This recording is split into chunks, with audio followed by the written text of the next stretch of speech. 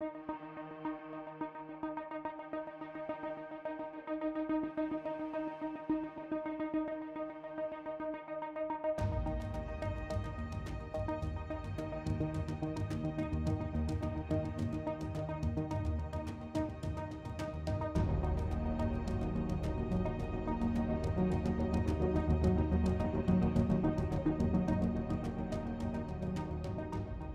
Hi, everyone. My name is Bruce Schwartz. I'm from Montreal, Quebec, Canada. I always appreciate the support of you guys. Thanks for stopping by. Thanks for subscribing, of course. And the comments are, I always say it, therapeutic. Absolutely therapeutic. You guys are really great people, supportive people. This is really what's maintaining the channel, or you guys. Structures, and that's what we're looking at. Oh, you can be sure we're looking at under Damoiseau Crater. Ah, third day, Damoiseau Crater. So this is a definite structure. These are definite structures. And each of them have light sources on top of them. And when you look at them, I mean, what do you guys think they are? The, th- the objects that I just circled. Do you think in any way that these objects could be natural? I think not. Well, not for me, anyways. We each have our own opinions on everything, and that's okay. That's just okay. But these are little things that I'm always mentioning during my research. In reality, we know there are UFOs up there. So there has to be someone on the moon. And that is a very scary thought, seeing that we were told there was no one up there. Just my opinion.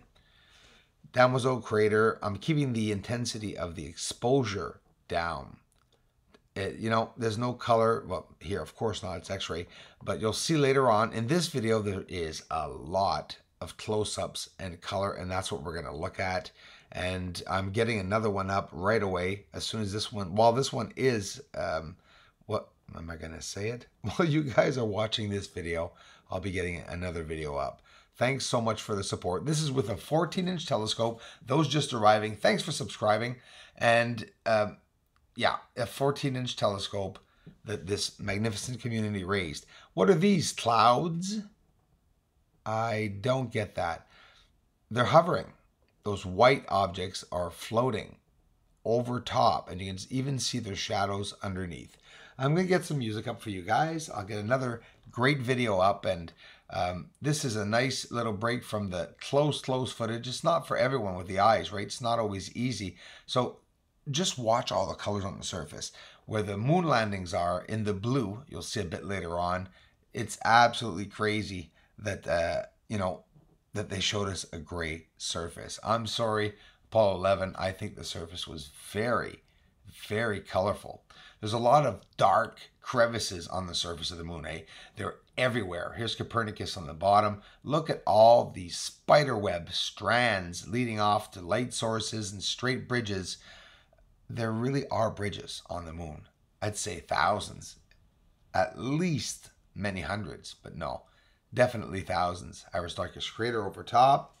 And these bridges go from everything to everything. And but you, you know, we can't see them.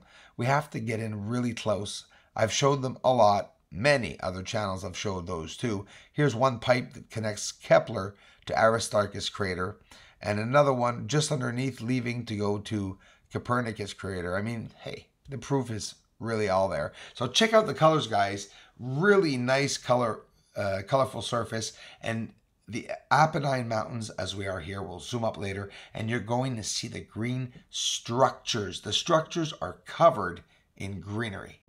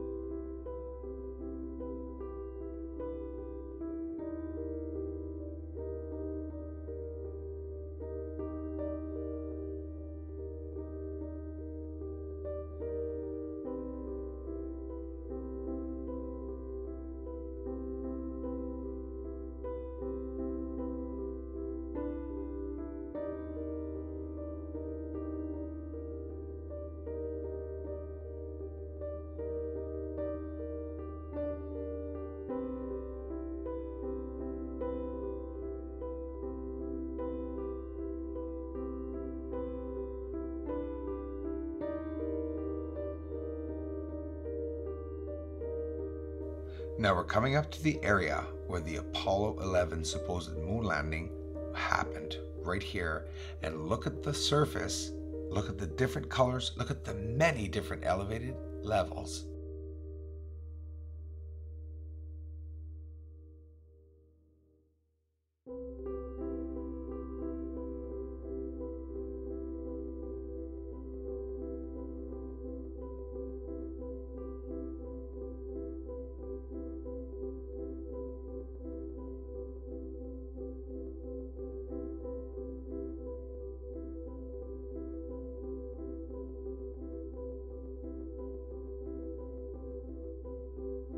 Look how the craters are illuminating the surrounding areas all around them.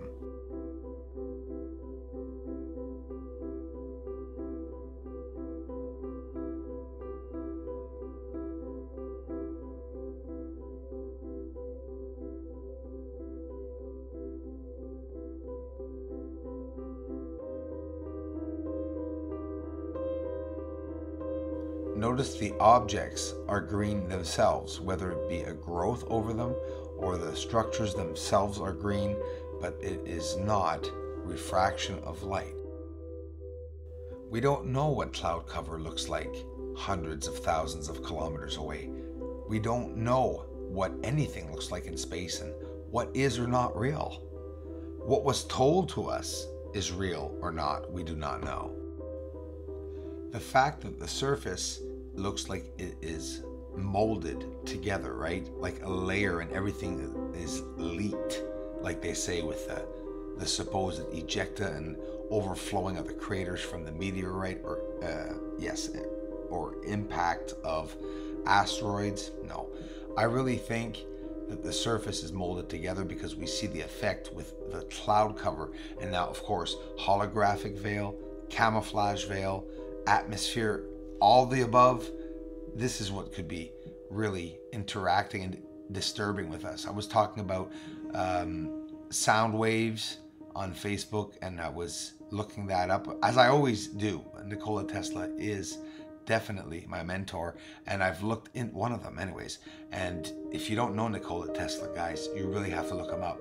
Those of you who have um, the capability of using your energy or feel that you have the capability of using energy, and those only those will understand. But just look up Nikola Tesla, and you know that was part of my journey. Nikola was part of my journey and my research, and I'm really happy I looked into it many years ago because this guy is amazing. And they say he died in an apartment in New York in the United States with uh, not a cent to his name.